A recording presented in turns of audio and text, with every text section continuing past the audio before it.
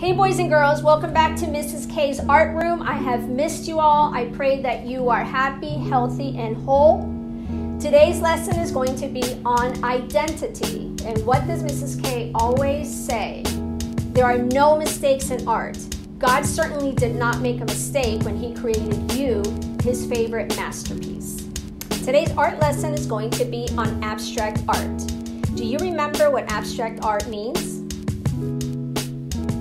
That's right, it's art that has its own identity. There are no two art pieces that are the same, and it's basically created with colors and shapes. So for today's project, you will need Sharpie, white sheet of paper, washable markers, a bowl of water, and any kind of paintbrush will do. But the last ingredient, which is the most important, is a good attitude. Let's get to creating. So the first thing we're going to do is draw squiggles, lines, basically any kind of shapes that you want to do. You can add polka dots, more lines, more squiggles, because we really don't know what this is going to look like. We just want to have fun. After you're done with your squiggles, you're going to take your washable markers. Remember, they have to be washable. And you're going to start filling in, but the key is not to fill it in all the way because we're going to make it look like watercolor. It doesn't matter what colors you use. Remember, all the colors blend if they're next to each other on the color wheel. So you can have as much fun as you want. You can use your complementary colors, your primary colors. Remember, primary colors are red, yellow, and blue. And they basically create every other color. Okay, so I love orange, so I'm going to use orange. As you can see, I'm not being super careful. Now I'm going to use some yellow because they aren't next to each other on the color wheel. It's kind of however you want to do it. You can do it in the middle of your shape or the edges. Have fun.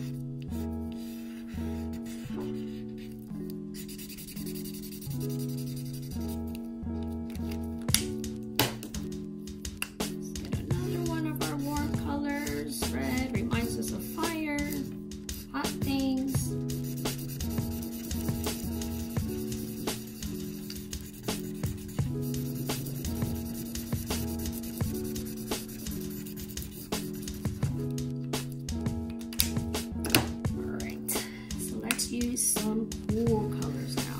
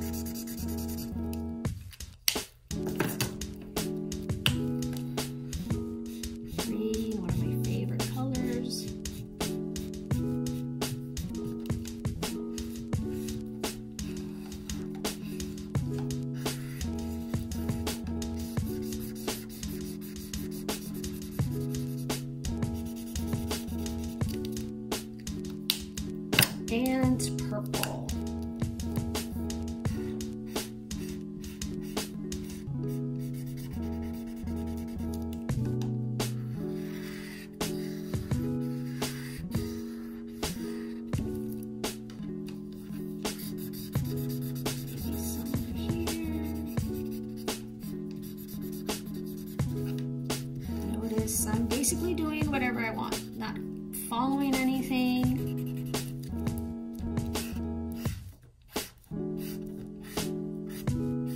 Okay, so when you're done coloring with your markers, we're going to come over here.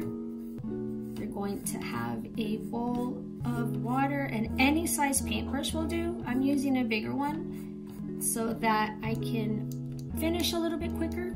Now you're going to start coloring right over your markers. The water is helping all of the marker ink run on the paper. That's why washable is super important because if you're using permanent colors like the Sharpie, permanent markers like the Sharpie that I use, guess what? Colors aren't going to blend together. It basically won't work. See how the colors are mixing, they're blending, and it looks like a watercolor picture now. So you don't even need a watercolor palette like the ones we use in the classroom. You can basically do the same thing just using the supplies that you have. Ooh, I like how the blue mixes with the purple. The less water you use, the less it will blend.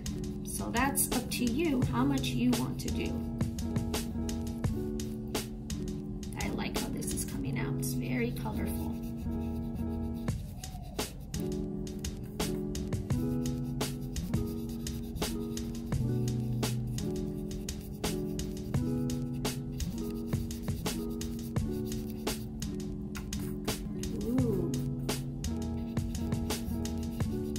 You're all done, let it dry flat. You don't want all of your colors to run together. And look at that, super easy, super colorful, super fun, and it's abstract. Which means it doesn't matter how many of these you make, they're all going to be different. I hope you had fun creating with me this abstract piece today.